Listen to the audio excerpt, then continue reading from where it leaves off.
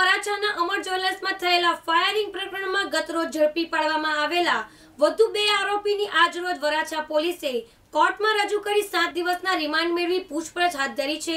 જો કે, ઝડપાયેલા બંને આરોપીઓ રીટા ગુનેગાર હોવાથી પોલીસે ગોળ ગોળ ફેરવી રહ્યા હોવાનું જાણવા મળ્યું છે. વરાછાના અમર જ્વેલર્સમાં ફાયરિંગ કરવાના પ્રકરણમાં રંગે હાથ ઝડપાયેલા રીઢા ગુનેગાર વિજય કરપડાની પૂછપરછના આધારે પોલીસે ગત રોજ તેના બે સાથીદાર મહેન્દ્ર ઉર્ફે મેંદો, કનુભાઈ વાળા અને કપિલ વજુભાઈ દવેને ઝડપી પાડ્યા હતા.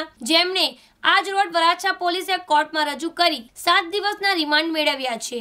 રંગે હાથ ઝડપાયેલા વિજય કપડાએ કબૂલ કરી હતી કે અમર જ્વેલર્સના માલિક પર ફાયરિંગ રાજસ્થાનના ગેંગસ્ટર લોરેન્સ બિનોસના ઇશારે કર્યું હતું અને ફાયરિંગ કરવા માટે જે પિસ્તોલ ઉપયોગ થઈ હતી તે ઇન્દોરથી વિજય લઈ આવ્યો હતો. ઉલ્લેખનીય છે કે મહેન્દ્ર અને કપિલની પ્રાથમિક પૂછપરછમાં તેઓ એવું રટન કરી રહ્યા છે કે વિજય અને મહેન્દ્ર ઇન્દોર ગયા હતા. જ્યાંથી તેઓ કામરેજ ગોપાલનગરમાં રહેતા કપિલના ઘરે આવ્યા હતા જ્યાંથી તેઓ મોપેડ પર ફરવા માટે વરાછા વિસ્તારમાં આવ્યા હતા અને વિજયે જ્વેલર્સના શોરૂમમાં જઈ ફાયરિંગ કર્યું હતું. પરંતુ વિજયના આ પ્લાનિંગથી તેઓને અજાણ હોવાની કહી હાલમાં પોલીસને ગોળ ગોળ ફેરવી રહ્યા છે. કેમેરામેન સાબિર સૈયદ સાથે મુકેશ ગુરાવ, દિવ્યાંગ ન્યૂઝ સુરત.